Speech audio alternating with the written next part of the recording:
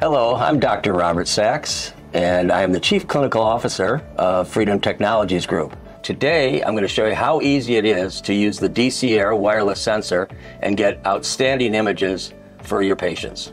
It's as simple as pressing the acquire button. The twain will pop up. It's telling you it's in the docking station, so it's ready to be picked up and paired, and you're ready to go. The DC Air includes five different holder or bite block types. Let's look at how each are assembled, disassembled, and used to acquire various types of images. First, let's review the BiteWing holder. The BiteWing holder includes two sensor attachment points. Most often, the sensor's battery will adapt into the attachment point closer to the distal aspect of the bite surface, which is the smaller curved portion marked with the letter D. The mesial aspect of the bite surface is marked with the letter M. The sensor should be divided symmetrically behind the bite surface and should fit snugly across the attachment points. It's also possible to attach the sensor's battery into the attachment point closer to the mesial portion of the bite surface. This is ideal for achieving better anterior coverage such as the distal aspect of the canines, or for achieving better comfort with premolar bite wings for patients that have smaller mouths or anterior tori. The wider M side of the bite wing holder will always exit the front of the patient's mouth, while the D side sits comfortably towards the back of the patient's arch. The wireless sensor can be oriented either way in the holder, depending on the desired shot or the patient's needs. To remove the sensor from the bite wing holder, apply direct pressure on the back of the sensor towards the bite surface. Don't twist the sensor to break it free, as one, this is more difficult, and also it can apply torque to the holder itself. To attach the positioning bar and ring to the bite wing holder, simply place the angled end of the bar into the bite wing holder until it snaps into place. The aiming ring slides onto the bar with the alignment tabs facing away from the holder. You will see the sensors aligned in the middle of the aiming ring. To disconnect the positioning bar and ring, simply slide the ring off of the bar. Then pinch the bar's attachment to the holder to allow it to release and pull to remove. Again, the sensor is removed from the bite wing holder by applying pressure directly to the backside of the sensor. With the bite wing holder all set up, place it into the patient's mouth along the bite surface. Slide the aiming ring as close to the patient's cheek as possible, and position your x-ray source through the ring also as close to the cheek or the skin as possible. The anterior zero profile holder is used for acquiring both upper and lower anterior PAs. It has a single attachment point for the sensor's battery. There's an attachment point for the alignment bar, and the alignment ring slides onto the bar with the tabs facing away from the holder. On the front of the bite block, there is a vertical line to help with centering the bite block across the desired area, usually the patient's midline. To remove the sensor from the anterior holder, simply apply pressure between the sensor and the tab on the back of the holder. To acquire a lower anterior PA, have the sensor oriented downwards and at a slight angle towards the patient. Have the patient close slowly as the sensor is positioned behind the lower incisors. Bring the ring and x-ray source as close to the face as possible for optimal results. To get an upper anterior PA, simply flip the direction of the holder. No need to reorient the sensor. Oftentimes, the longer medium bar length is used with the anterior bite block to ensure adequate clearance of the nose and chin. The anterior holder can also be useful for acquiring vertical periapicals of premolars. This is accomplished by offsetting the position of the bite block distally to position the sensor's face behind the desired area. The posterior holder includes two sensor attachment points, as well as two alignment bar slots for versatile coverage options. Most often, the alignment bar can be used in the upper slot, marked with the letter U, and the sensor will be connected with the more curved side towards the back of the patient's arch.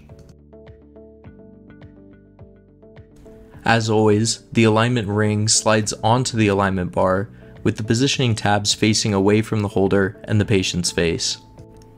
It's sometimes beneficial to use the lower bar attachment slot on the posterior holder, marked with the letter L, for lower posterior PAs. This will help extend the image below the apices of the molars if the patient's anatomy makes it difficult to do so with the standard configuration. The sensor can also be used with the curved end towards the front of the mouth if more anterior coverage or comfort is desired.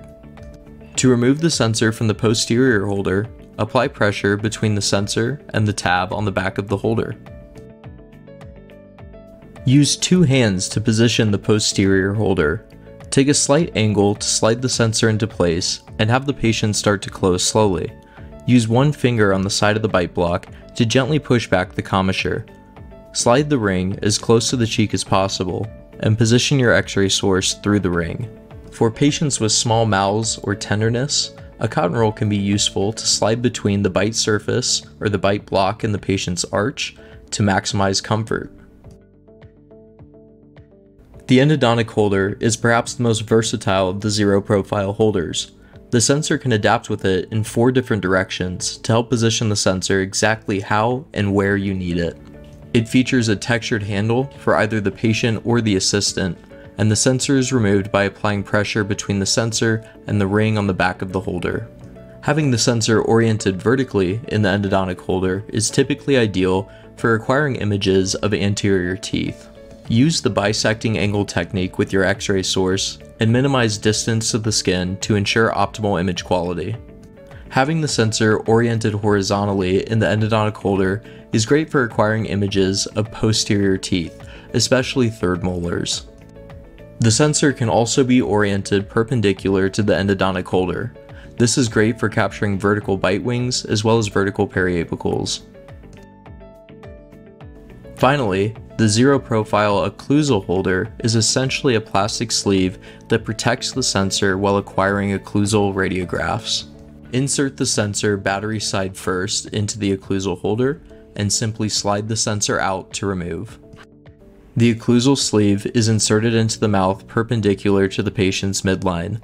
Have the patient close slowly on the occlusal holder and position your x-ray source below or above the sensor's face to acquire the desired image. Now that you've seen the holders, let's review the imaging workflow.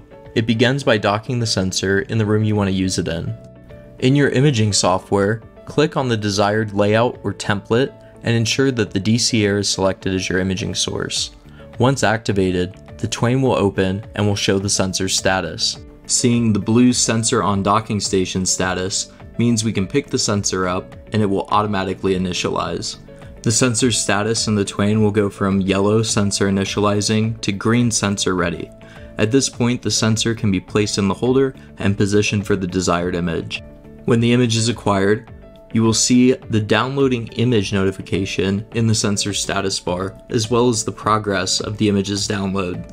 A preview image will be displayed while the final processing is completed, and then the image will return into the template. In most imaging programs, the DCAir Twain will automatically reopen with the sensor status set to ready for the next image. If for any reason you wish to end the acquisition early, use the Save and Exit button in the Twain to close the acquisition software and stop the capture. Let's review some of the many features included with the DC-Air Twain. To resize the Twain window, right click on the sensor icon in your system tray and select one of the options under GUI modality. At the bottom of the Twain window, you will see the sensor status bar, which will be blue for sensor docked, yellow for initializing or other warnings, or green for sensor ready.